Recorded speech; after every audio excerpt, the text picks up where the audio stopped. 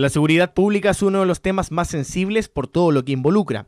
En los desafíos del 2016, la coordinación regional está trabajando en el Plan Regional de Seguridad.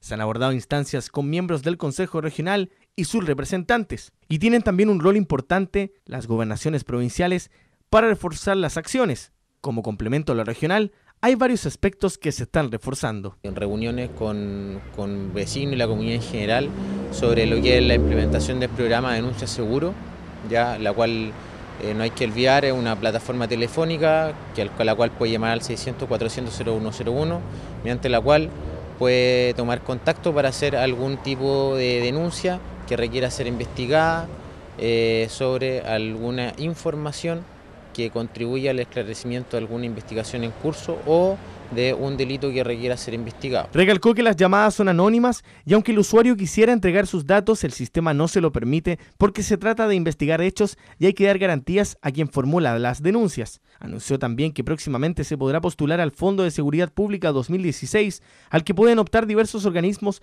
para ejecutar proyectos en el marco de la prevención de los delitos.